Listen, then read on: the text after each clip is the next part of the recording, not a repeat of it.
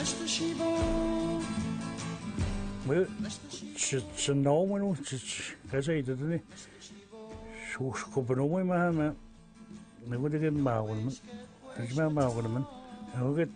er. Réginald Michel est un pêcheur à la mouche, de la pêche sportive. Il est l'un des meilleurs pêcheurs à la mouche de la nation Innu.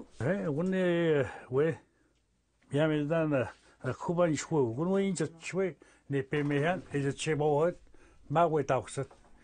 masta man huyat, en washwat.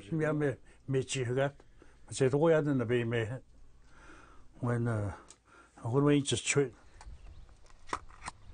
Même s'il travaille avec de petits outils, ces leurres pourraient avoir un grand impact sur la préservation de la population de saumon dans une rivière qui tient près de son cœur.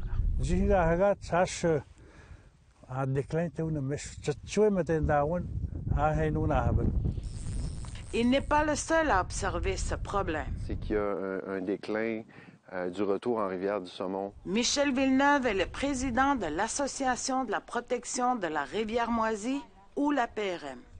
La PRM ne jouissait pas d'une bonne entente avec les Inuits. Il y a eu plusieurs tensions entre l'association et les Inuits.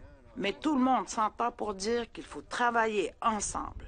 Je, sais qu'il s'est passé plein de choses, euh, puis moi j'ai ramassé ça l'an passé, mais la vision que moi j'ai pour, pour l'association, elle doit passer au-delà au -delà de, la, de la protection de la ressource. Il y a un phénomène social qui, qui peut se passer aussi. Puis ça peut être un bel exemple de rapprochement puis de d'histoire à succès dans, dans, dans les relations allochtones-autochtones. Oui, le tirage. Betty Michel de Washat Macmaliotenam a 27 ans. Elle a nouvellement rejoint l'Association de la protection de la rivière Moisie. Motivée par la nécessité de protéger les ressources naturelles qui ont soutenu la nation Innu depuis des générations. On est rendu là de, de, tu sais, de devoir euh, travailler ensemble, euh, toujours pour la protection de la ressource. On voit qu'il y a un déclin. Ici, en bleu, c'est ce qu'on appelle le club de pêche de la rivière Moisie. C'est comme un club américain privé. Là. André Michel est un biologiste et directeur de la protection du territoire pour Inuit-Wagan, Washat, Macmaliotenam.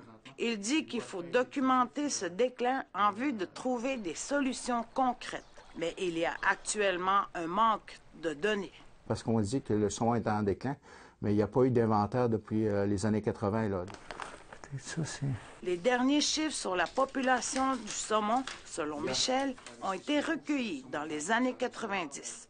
On dénombrait entre 4 000 et 6 000 saumons en montaison par année. Il y a plusieurs facteurs qui contribuent au déclin du saumon dans la rivière, incluant les changements climatiques. Donc, il pense que le code de pêche doit changer aussi. Le code de pêche, ça date de quand même d'une vingtaine d'années. Puis le code de pêche, c'était, pas vraiment un code de pêche chez nous. C'était comme un, je te dirais, c'est un code plus euh, blanc là de. C'était des, modalités de pêche qui étaient définies, le nombre de, de filets, la grandeur des mailles. Pour Villeneuve, pour le côté bureaucratique, il est question de développer les relations avec les Autochtones en vue de favoriser une bonne entente et donc de travailler ensemble. On va réussir à, donner une meilleure image de l'association, qui n'a pas été, euh, pour un paquet de bonnes et mauvaises raisons, euh, d'interprétation ou de perception, euh, on se doit de se rapprocher. L'heure n'est pas à la chicane présentement, il faut se rassembler. Il y a une crise de la ressource, puis c'est pas en se chicanant. Pendant qu'on chicane, on n'aide pas à rivière. Mais sans code de pêche, c'est difficile pour tout le monde d'être sur la même longueur d'onde. Et donc, Itum élabore son nouveau code de pêche. Puis euh, Itum sont en train de travailler sur un nouveau code de pêche.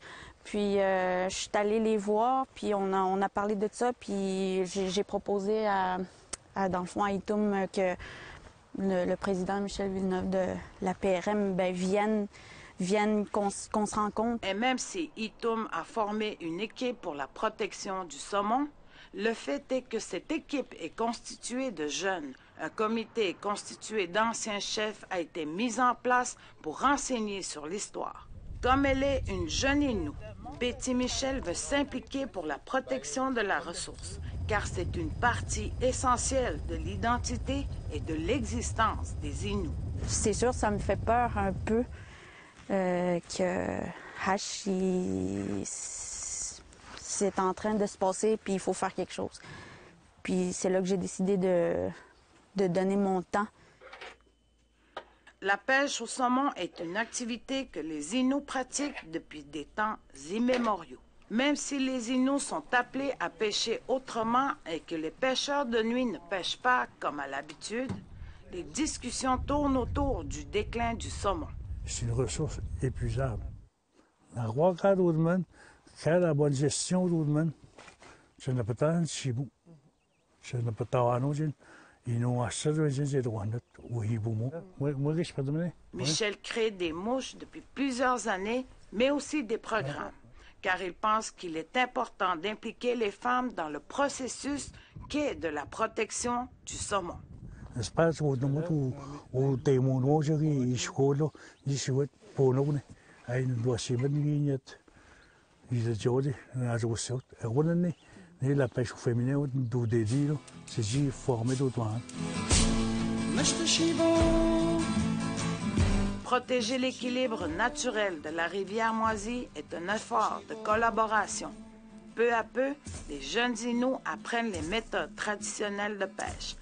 y compris celles de la mentalité de capturer seulement ce dont ce que vous avez besoin. La probabilité d'une bonne capture a diminué en raison de la surpêche par les touristes américains. Presque tous ceux qui sortent de la rivière pour pêcher pour la subsistance peuvent le constater.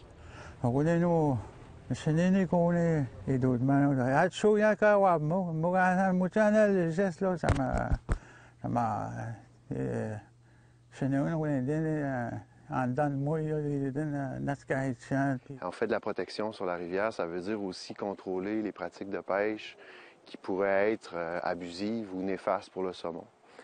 Euh, notre rôle s'arrête là quand même parce qu'on on a quand même juste un petit bout de rivière où est-ce qu'on on- qu'on travaille.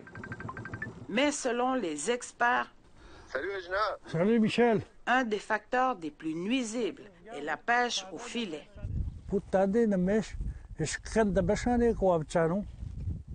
Selon Michel, la pêche au filet était pratiquée seulement en dernier recours, lorsque la pêche au harpon ne donnait rien.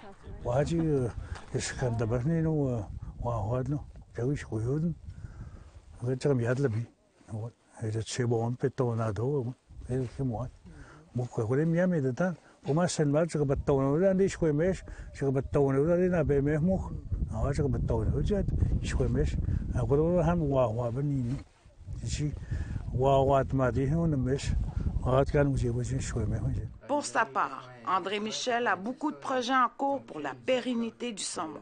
Il y a la pratique de la remise à l'eau qui est préconisée et à l'initiation à la pêche à la mouche chez les enfants. Dès l'année prochaine, il travaille aussi sur la technique du marquage pour dénombrer les saumons. C'est une technique qu'on appelle euh, marquage, capture, recapture. C'est sûr que dans la cage, on va marquer les saumons. Après ça, on va les laisser euh, retourner dans la rivière. Puis euh, au niveau de la, la pause migratoire du 1031, ils vont être euh, scannés. C'est comme un- une puce électronique. On va savoir c'est quel saumon qui a été marqué avec le numéro. Comme Réginal nous montre en coudrant ses leurres de pêche, la restauration de la santé de la rivière est un travail long et prend du temps.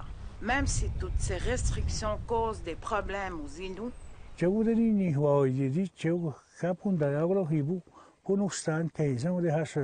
Ça va devenir euh, une rivière en guille.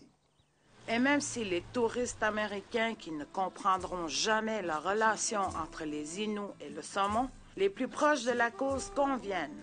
Leur identité est en danger, tout comme l'abondance naturelle de Meshtahibu, la grande rivière.